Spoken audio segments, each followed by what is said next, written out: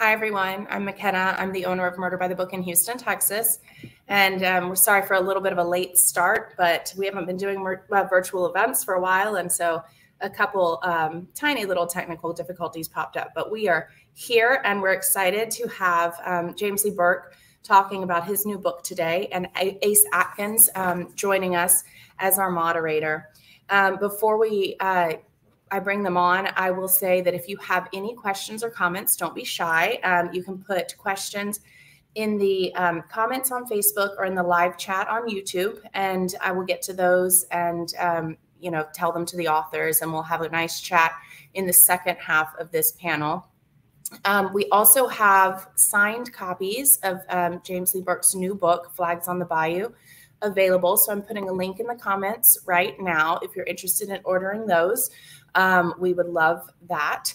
Um, also, I do want to mention that while Ace Atkins doesn't have a new book coming out until 2024, there is a very cool reissue of his first Nick Travers book, um, full of music and crime and um, wonderful Southern writing. And that reissue is available at Murder by the Book. Um, so that is called Crossroad Blues. I might have failed to mention that. Um, so James Lee Burke is a New York Times bestselling author, two times winner of the Edgar Award, winner of the Crime Writers Association Gold Dagger and the Grand Prix de Littérature Policière, and the rep, uh, recipient of the Guggenheim Fellowship for Creative Arts and Fiction. He's authored 40 novels and two short story collections. He lives in Missoula, Montana, and like I said, he's here today to talk about flags on the bayou. Hi, Jim. How are you? Well, hi, McKenna. How you doing? I'm great. Thank it's you. so nice to chat with you. Um, we've had a long, long uh, friendship and relationship, yeah. and I've been a huge fan, and it's good to see you doing well. Many years. Many years. Um, we also have Ace Atkins joining us. Ace Atkins is the award winning New York Times bestselling author of almost 30 novels. Atkins, a former SEC football player, started his career as a crime beat reporter in Florida before becoming a full time novelist. Since then, he's written 11 books in the Quinn Colson series and several true crime novels based on infamous crooks and killers. He was also chosen by Robert B. Parker's family to continue the Spenser series in 2010, adding 10 novels to that iconic franchise. He lives and works in Oxford, Mississippi.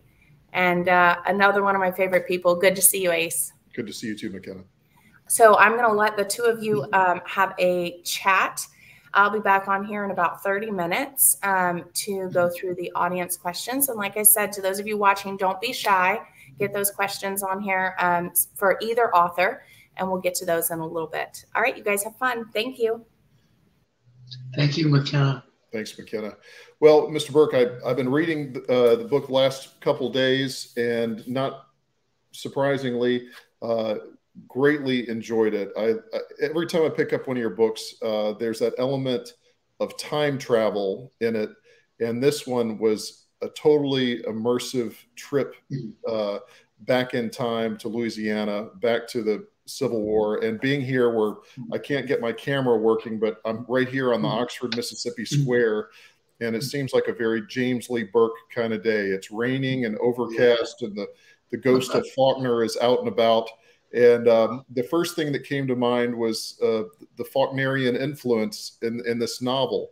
Uh, was that something you were you're conscious of? Was that some a place you wanted to go, or, or uh, we've talked about Faulkner before, but being here in Oxford, I have to ask you again. Well, if uh, there is an influence of William Faulkner in this book, uh, it has to do with the technique using multiple protagonists first person narrator. So, yes, uh, he wrote, of course, As I Lay Dying. And it's one of his best books, I think, and one of the probably least uh, uh, lauded. As you know, of course, that was always his fate. I think Faulkner uh, never sold more than 5,000 copies of any of his books. Yes, sir. Yeah.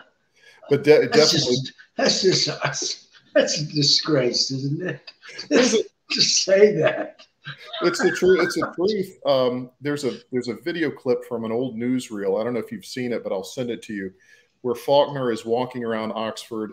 Uh, it's probably early 1940s, and he's talking to his uh, benefactor Phil Stone, who was a uh, oh, yeah. an attorney right here, not 100 yards from where I am. And uh, Phil Stone was talking about how he never made it, how Faulkner, this book didn't make any money. And I think it was Sound and the Fury, As I Lay Dying.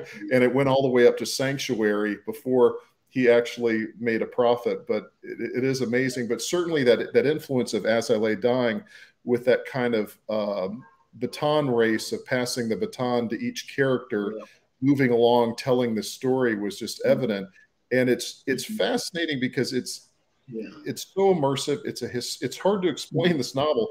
It is a historic novel but it is a it is a mystery.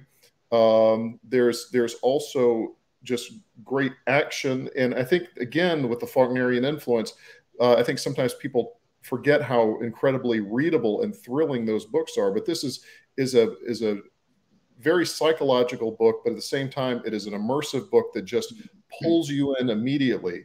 Um, and the, the, main characters here with with uh, Wade Lufkin, uh, and I don't know if you want to talk about them in pieces or if you want to start with each one, but but let's maybe let's talk about Wade for a second because Wade seems to carry a, a great amount of the load of this this narrative. Well, he, yes, he opens the book and he's an idealist and a patrician, and he uh, volunteered uh, for the 8th Louisiana uh, Infantry, and th- this was a unit. That was my great grandfather's unit. Uh, they just got pounded. They were at every battle in the uh, what is called the Shenandoah uh, campaign of Jackson but uh, it, the, the, engagements were such that um, I don't think we understand the amount of suffering that went on during those those particular battles. Certainly, you know, Cemetery Ridge, and First and Second Fredericksburg, and of course, the real meat grinder was uh, at uh, oh, uh, golly, it, uh, you know, uh, golly, I got I'm stuck. I'm sorry, just a moment. No, no worries. Um, I think that was the other thing with, with the novel too is the other book, and I don't want to get I don't want to make this all about Faulkner. I was also struck a lot of the similarities with the Unvanquished as well. Um, I, I, kept on coming back as that tumultuous, um, apocalyptic time of being in the middle of an occupied city, finding everything just being terrorized, and it reminded me. This and The Unvanquished is another one of Faulkner's books that is, I think, one of my favorites, but not necessarily one of the most recognized. And they're just, it reminded me of that time of a, of a town just being pillaged and the, the anarchy that followed. It just seemed like a, a hell of a time to live, but a great time to write about. But I, have never read the Un, Unvanquished, so I wouldn't know. But uh, the uh, events that occurred that you described certainly were pervasive. William Sherman was, in effect, uh, a, it's not meant to villainize the man. He was what he was, but he was a terrorist. And he set the uh, programs, put them in place that were to be practiced from 1865 to 1891, and they were genocidal. That was the that was the plan. Right after the war, all of those guys, those same Union officers, uh, they killed, burned, and murdered all the way till 19, 1891 Wounded Knee. And Wade is really they our starved up. They starved a race into defeat and, and Wade is kind of our, our guide into that that patrician world that is being destroyed at that mm-hmm. time. His his family is a, he's coming from a wealthy family from a mm-hmm. certain upper class. Um, everyone we meet in this novel is from a, mm-hmm. different class, whether they're slave or whether they're poor white trash yeah. or whether they're a marauder. They're all coming at this story from all different angles. But so Wade was uh, a surgeon uh, during the war and. Um, uh, killed a man in a in a in an unusual um, type of way, in, a, in, a, in a, unusual event where he he had to take up arms against somebody. Can you tell talk a little bit about his haunting of this one event where he actually has to actually kill uh, another soldier, something that he was not thinking that he was going to have to do during this time? Uh, yes, Wade is a gentle soul, and he's a uh, an assistant to, a surgeon, but he plans to be an artist, and he's in, uh, and, and, he's a kind man ultimately. And the only reason, or on the only ground that he would accept as a soldier, would be that of a Pacific person and he was at uh, Frederick, not Fred, well, Fredericksburg, but also he was uh, at the Battle of, uh, golly, my head blank. This, this, I'm sorry, just, oh, no. I feel like my head's in a vice. anyway, but uh, it, uh, golly Moses, uh, you it's know, the heavens. Shenandoah. Uh, oh, the, the worst uh, a day of the war. It was Shiloh. No, it's worse than Shiloh. Uh, 1862 in Maryland. It was, uh, golly Moses, anyway, she was.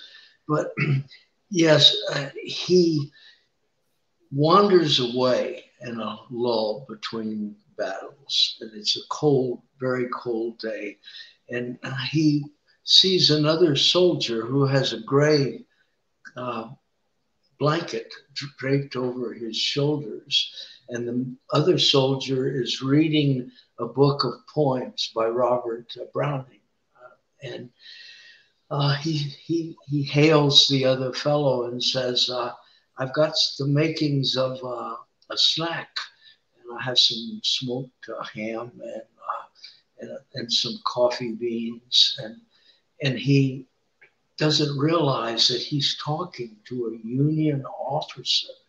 And the union officer drops the uh, blanket from his shoulders and he's holding a pistol.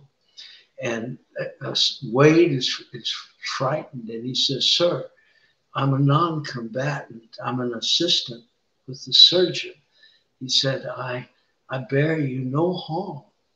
And instead of receiving mercy, the Union soldier tries to kill him, but the pistol misfires. And Wade gets away uh, from the immediate danger he's in and runs so and grabs the rifle, which has a bayonet on it. It's the officer's rifle, Springfield. And he kills the officer. And this, for the rest of his days, bothers him, at least as long as we know about the things that went on farther down the track you know, in their lives. But uh, he realizes that there's no way to extract the evil that is going on, this enormous loss of uh, life. And 660,000 people, men died uh, in that war. And I, I, think we're not aware of that. Uh, that that there's a simplistic attitude that we have. Uh, I think we don't realize that. I, I, the uh, oh the historian who uh, oh golly he's uh, he wrote four volumes, the best history ever written of the Shelby Shelby Foote. Shelby Foote, who said we should not uh, view uh, the events of mid 19th century with 20th century eyes. Mm. And he, he, he wasn't being critical, he was just being factual that these things, the things that occurred then were extremely um, uh, complex.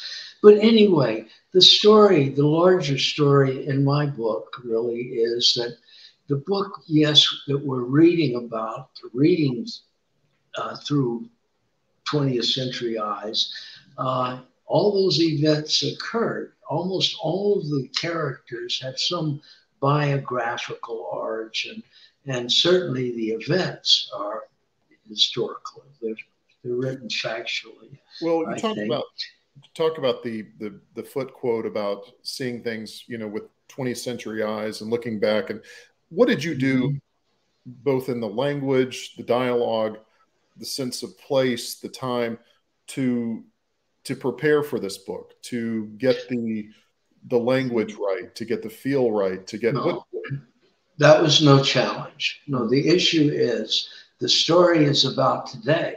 Hmm. It's about today. It is not about 1862.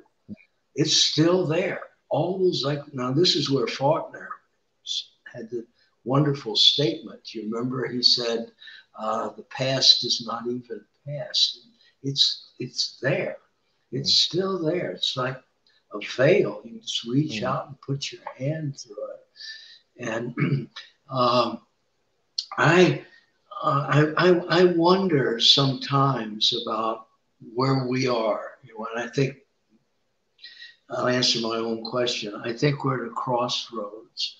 And I think we'll either be a, a, a true union, a pluralistic society, or we're not going to survive at least as we consider of ourselves, our own image. My father was far more erudite than, than I am.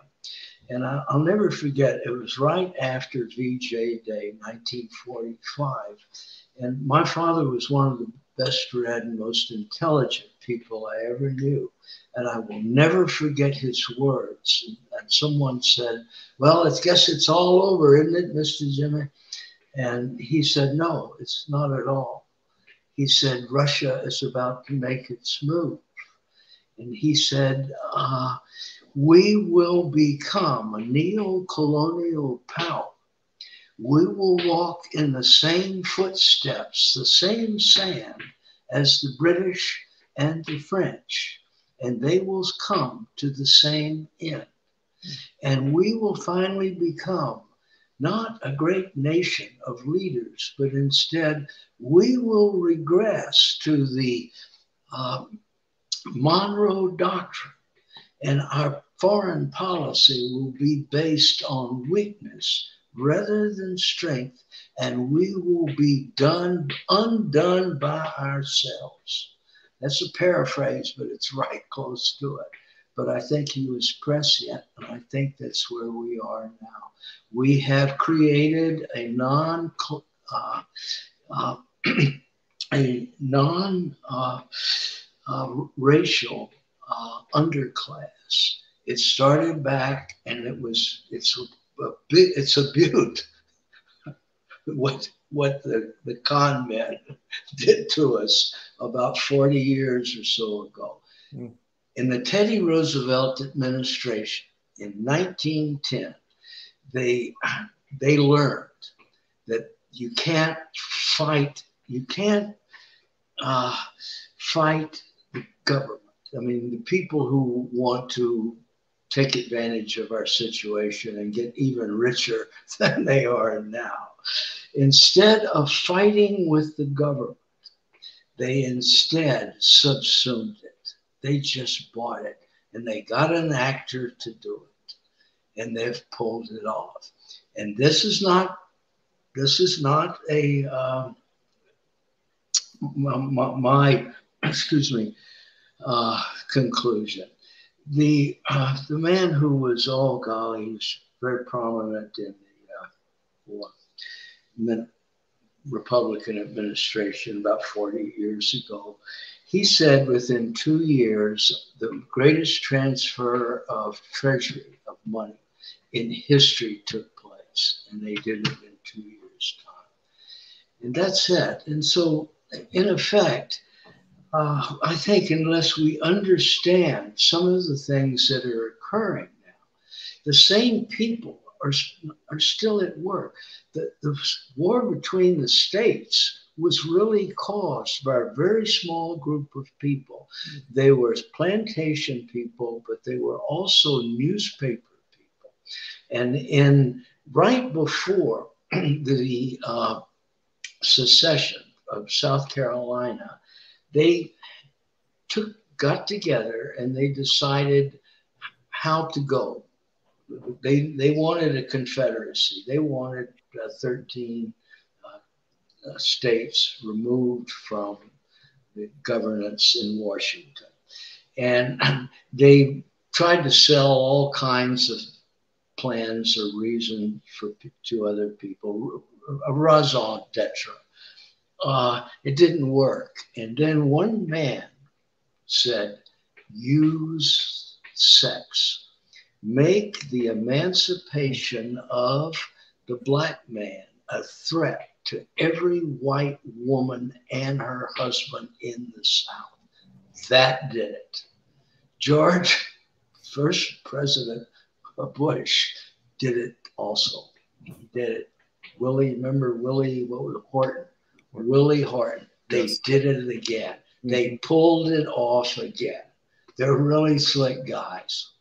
Well, Mr. Burke, you just, yeah.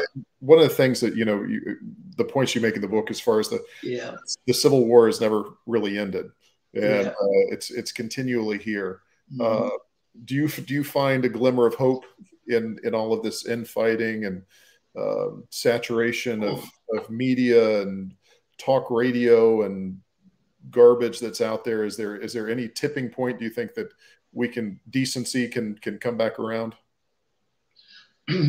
well, that's it. We're at the crossroads. I, I, think it's almost a flip of the coin. Now, I, I, don't share all of what my father said. Uh, and I, I, he was looking through certain pair of eyes. You know, my father was a very Victorian man and, and, a very decent and good man, and he was kind. But uh, what what troubles me most is something that George Orwell said uh, back. Oh golly, Moses, you know, back in the 1940s, in one of his essays, he said the first uh, line was. Uh, the truth died in 1936. That's that's what he the truth died in 1936. And then he explains that, that the power of uh, electronics, and he was just talking about the radio, was such that a lie could be perpetrated uh, successfully uh, and have an enormous influence on people who are not educated and who in whom uh, fear can be inculcated. And I think we're far beyond that now. This, there, there are people here, you could watch them on television talking live. They're being interviewed on the street. They sound like they just got off a, a flying saucer. Mm-hmm. It just, that's the craziest stuff you've ever, it's like well, benighted people. I, I, know what I, I'm a. I'm a big, I'm a, a big, Go ahead, I'm sorry. No, no, no, sir. Uh, yes. Uh, I'm a big fan of films from uh, the 1930s, and uh, you would see those elements of fascism that would be creeping in to talk about a lot of many yeah. of the films of Frank Capra, yeah. and particularly a film, uh, one of my favorites called Meet John Doe uh, with Gary Cooper. And in that film, it's about the media use of um, fascist ideals and how it's passed on to the masses and the mob mentality. And I remember watching that when I was in high school and thinking it was such a strange film and such a, a time capsule. And it seemed like an era that we would never revisit again. But I never thought that that would become such a modern film today. But you watch that movie today, uh, or you watch a film, another one of my favorites from the 50s, Face in the Crowd with Andy Griffith, which is one of the, I think, one of the greatest films ever made and you see that idea that mob mentality but there's always a point in that film where the mob turns back on the person they're listening to. And that's what i always keep on waiting for and it doesn't seem like that's coming back around. I think in storytelling we see the mob is following the dictator they're they're following the fascist but then that tide switches and they turn back on that person. But i would have thought that would have happened some time ago uh, and i don't know if we're, we're past the point of no return Yes, and I, I agree with you. I, I, I never thought we would do what we have done in the last few years. I never thought that would happen. And I, I wrote an editorial for a German newspaper paper right before the 2016 uh, election. And I said, the American electorate is like uh, the, uh, oh, the girl that you want to take home uh, to meet your mother. You, you, you might might hang around with a girl who is not the one you want to do that, but you'll never take the you'll never take a bad girl home to meet your mother. And I was dead wrong in that. We brought the bad girl. He was a bad guy. Oh, that's it. You say, I don't believe this. I don't believe this. I don't believe this. And you think, my God, it happened. And it's still there. Look, I just, I just, I can't understand it. I still cannot understand it. I cannot understand it. I, I, I gotta, uh, I, uh, I'll always be, uh, I have to apologize this for the rest of my life. I uh, sold uh, barbecue tickets to a, uh, political rally for, oh, golly Moses, my, 1948, uh, the uh, Dixie, uh, you know, party, golly Moses, anyway. The man is, anyway.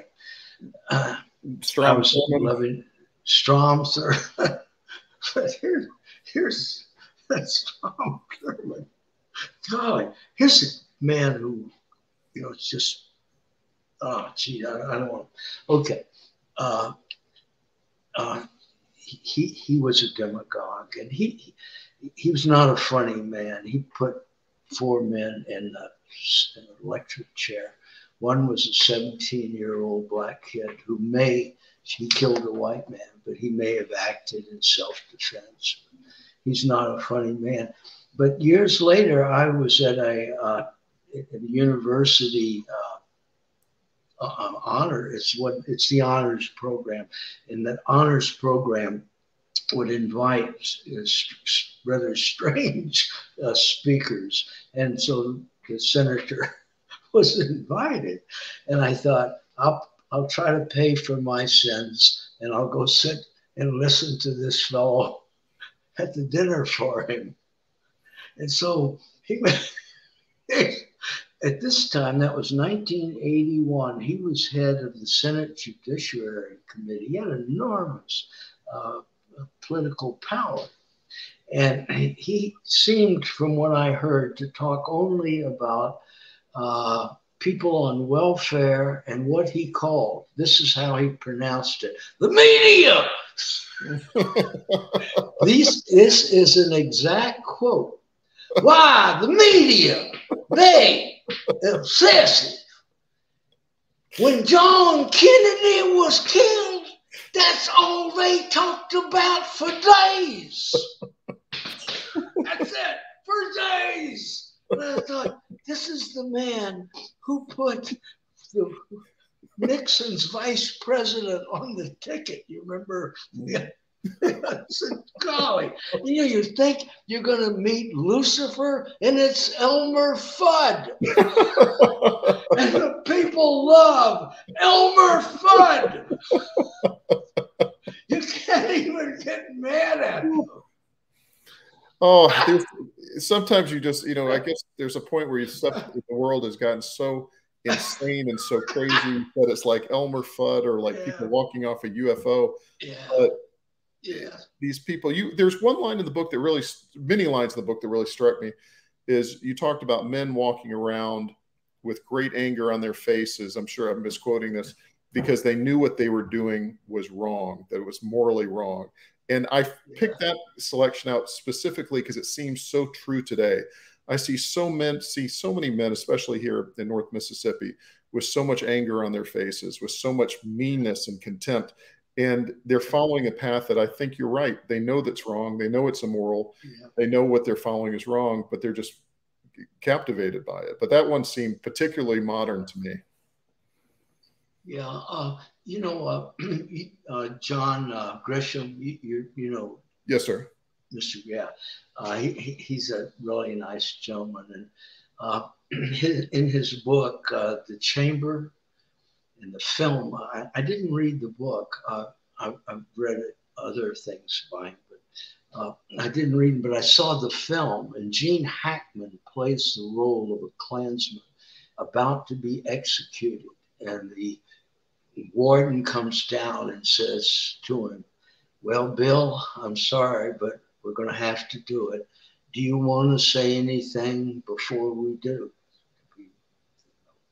Killed, executed. And the character played by the actor says, Yes, sir, there is something I want to say. For my whole life, I hated my, I, I was taught to hate. And for my whole life, I hated myself. That was it. He was taught to hate himself. And that's how it works. If you're from the South. You know this is true. Yes, sir. People were taught that the black man is your enemy. Mm-hmm. Black man's going to take your job away from you, going to take your school away from you, They'll take your 40 acres from you, They'll take your wife away from you. And uh, that's what they were taught. And they it worked. And and I I, I, I know uh, you know anyway, this I, I heard people say this years ago. We all picked the white man's cotton. Got news for those guys who are mad. She said, Whitey up there in the big house on the hill doesn't care if you're white or black as long as you work for 40 cents an hour. That's how it works. And the biggest the biggest fear for all of them is the uh, people of the same class and if black and white would come together and that's their biggest fear. It. That's it. Well, Mr. Burke, I've got about 500 more questions for you, but I'm not going to steal all your time. I wish we could talk more no. about the book because I, I can't tell you how much I enjoyed it. But I'm going to bring McKenna back on here to have some questions from your many, many fans. Well, I They say, call, call me Mister. Uh, I mean, call call me Jim. It's hard for, it's, for old, old people. It's hard for me, sir. I appreciate it. Ace, I've, I've heard him tell you to call him Jim so many times, and you still can't do it. That's hard. That's all right. He's a Southern man. He's a Southerner of the old old, old school. I'm, I'm the same way. I cannot refer to women by their first name or ladies by their first name because when I was growing up, you do that, you get slapped upside the head. you that's never talk to the way it was in my family. We, man. But for, know, for me, it's, it's how about it's, being called Bud? Hey, Bud, how you doing? You know, so I, you know, I want to say, well, I was doing fine until I met you. hey, Bud, Steve West, golly, yuck. All right. Well, we do have some questions from people watching.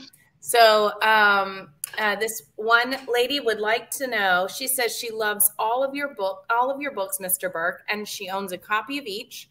How are your horses doing? She sees a lot of pictures of you with them, and it seems that you get so much pleasure from them. Oh yeah, yeah. Horses are they're part of the family. All all, all pets are. Yeah. We have a 120 acre ranch, and uh, all animals, all animals are welcome. Mm-hmm. And so we joined the uh, horse emergency program, but we're down to just two now. But, but anyway, we have a lot of critters, so lots of every. We have everything. We have wolves, but they're you have to tell them to go somewhere else. And Throw, I haven't thrown a pine cone at one yet, but any day now. Them. Yeah. okay. Um, so uh, we have another question, and I think both of you can probably address this one. Um, so when you're working on your historical fiction, because Ace, you've done historicals as well, how much time do you spend researching and how much, uh, excuse me, and how does that compare to the time you spend writing the novel? No, I don't. Uh, that's a compliment. I know. I, I know. Uh, but I, I don't research much. I don't. There was, one question I didn't Yeah. get a chance to ask Yeah. you, which is kind of tacked on to the, the question you just had, which is, Mm. can you just give us a little? There's there is the family connection. Uh, you mentioned Mhm. woman uh, Ellen Lee Burke. Is she your? Yeah. That's a true family member, Oh yeah, that's my great uh, grandmother, and she had great great grandmother. two sons that, fought that fought for the Confederacy. Yeah, there were three. Yeah, it was James, uh, William, and uh, uh, golly Moses. Uh, oh, geez, uh, Patrick. Yeah, were three. And But they were uh, they were um, um, uh, you know a- abolitionists, and they were officers. And uh, Uncle Willie, they call him Great Uncle Willie, he was at Shiloh, and uh, that that battle I've written about it in two books now. That's that's his story. And the, the plantation in this book, uh, Lady of the Lake, was my great great grandfather's plantation, and uh, that his wife. That I'm probably going to get lynched by my own family, but his life wife's maiden name was guess what? Uh, oh, my head went blank. Who shot Lincoln? with J, James. Uh, it's it's mentioned throughout the book. She's a Booth, she's a Booth which is brought. Yeah, she's a Booth. She that was my great grandmother. Her name was Booth, and she was Oh, wow. born in Wilkes County, Georgia, as in John Wilkes. the history is all is just everywhere. The other, the Oh, other question so I have.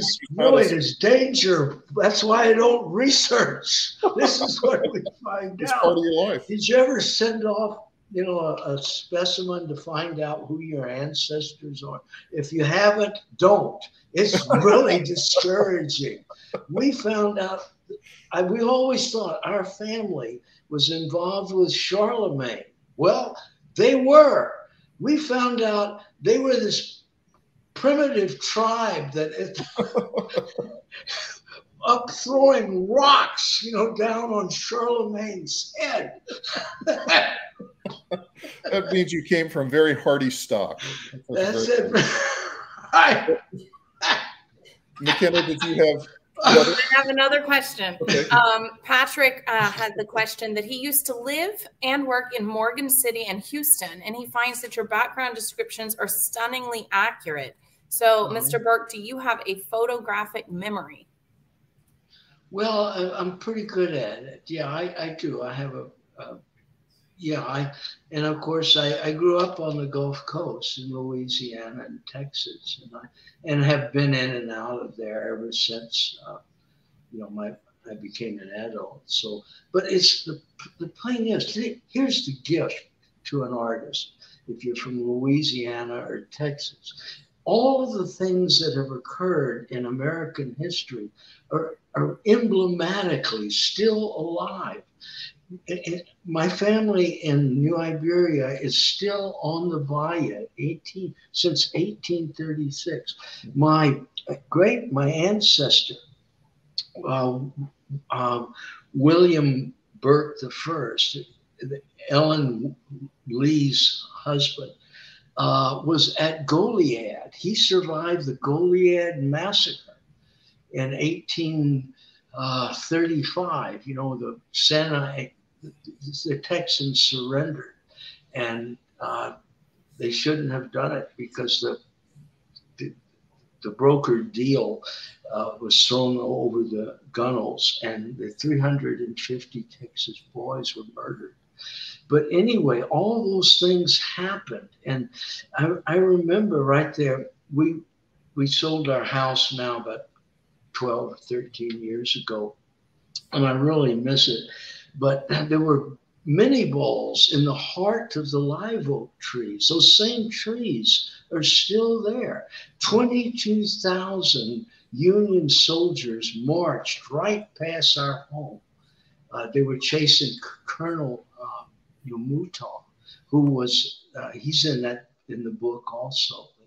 That was my off my great great uncle's commanding officer. But, but it, what they went through was terrible. Just you know the my great great grandfather, uh, his name was Perry, uh, was at, um, oh, golly, I, I get into all kinds of things. I'm sorry. I, I, I you know, one question I had about, you know, the digressing. So, uh, so yeah. many of your books have the, that plane of existence that we're living on, that all time is the mm-hmm. same time. And, and uh, one of your, uh, the, the last Robicheaux book uh, specifically had that.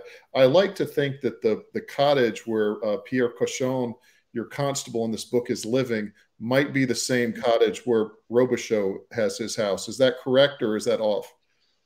Um, yes, exactly. That's that's that's where the, you got it. That's it. It's right next to uh, the uh, um, Shadows. There's an old uh, plantation homes. Been there since 1834, I think. But yes, right there on Bayou Teche. And uh, his name is on the street that's where the drawbridge is. That's Burke Street. I, I put that in in it all the time. Of course, that's, that was uh, that's Robicheaux's jogging route. That's where he jogs. That, that's it. Yeah. yeah. But it's a very old town, and uh, well, it's like Oxford. You know, it's just uh, golly, you know, just. But see, Bedford Forrest came through there in what 1862 or 63 I'll tell you about that. I'm I'm sitting here in a building that was the first building constructed in 1871 after the town was destroyed, even before the courthouse was rebuilt. And so it gives me a sense of history walking in here each day. It was an old dry goods store, and now it's been cut up into offices really? and that kind of thing. But if you watch the film Intruder in the Dust from uh, 1940s, uh, you see nothing changes, you know, and everything, you know, you still get those touches of of, of old Oxford and and being, you know, the, the world continues to, you know, go on and, and people grow old and, and are not here anymore. But the, the the history and the the town at some point still still remains the same. Is it in Absalom, Absalom, where the woman uh, uh, sees uh, the uh, oh, Confederates come into town, and she has a uh, diamond ring, and she scratches her lover's name in the glass. I think so. Still there in the 20th century. Boy, there's even. Go ahead. Oh, I was going to say there's even parts. Um, I was fortunate enough to to know uh, Dean Faulkner Wells, who was uh, William Faulkner's niece, and he essentially raised her. Her father was a pilot um, that had been killed even before she was born. He was a subject of pylon uh, pylons, and and it she would take me around and show me these bits and pieces of this was the the inspiration. This gully way was when uh, Joe Christmas. This is when he disappeared, when he escaped from the jail. This is where this was, and um, in their house is still the the table where he actually edited Absalom Absalom. They call it the Absalom hmm. Absalom table, and those connections to history. I think I think maybe going back to the, everything you've been talking about today, Mr. Burke, is people that are so ignorant of history. I think this is why we're the, in the fix that we're in. We have a you know we have a sitting U.S. senator that thinks that uh, America was fighting the communists and the socialists during yeah. World War II. So yeah. you know people that are ignorant of history, I think, are, are yeah. more pervasive than ever. I'm sorry, McKenna. You're good. We have to, we just have a couple more quick questions from the, the audience before we wrap up. Um, I know the answer to this one. It's not a difficult question, but um, people in New Iberia tell me that you spend most of the time in Montana, and people in Montana tell me you spend most of your time in New Iberia. Where are you now? Well, I'm in the basement of my house, and uh, it, we call it the dungeon. And uh, golly, I uh, oh, I, I hope to get back down to Louisiana pretty soon. I, I always miss it. I just really miss it. And uh, but uh, I think it's it's fair well, to say you're in Montana though. Right now, yeah, I'm in in, in Montana. So, uh, but no, I was going to say something that, uh, that very often, and I have to remember this myself. There, people get hurt even though the intention of, say, a certain program is a good one. But the people sometimes who pay penalties they do not deserve. For example, and uh, that uh, to, to say put one person ahead of another because of his or her race is yeah maybe that's right but maybe it's not but the point is somebody who never did anything wrong gets punished for something that happened many years ago and i always have to remember that that uh, that uh, golly moses that people it's too easy to sometimes brush people off.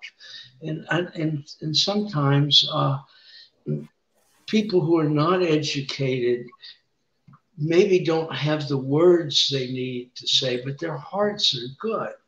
But they sometimes feel that they are penalized. Look, uh, what is it, Saturday Night Live? How do they portray uh, Southerners? They mock them all the time.